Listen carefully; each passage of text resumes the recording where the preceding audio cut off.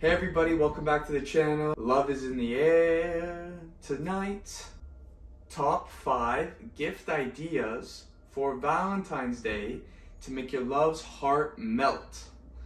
You can make a playlist for each other.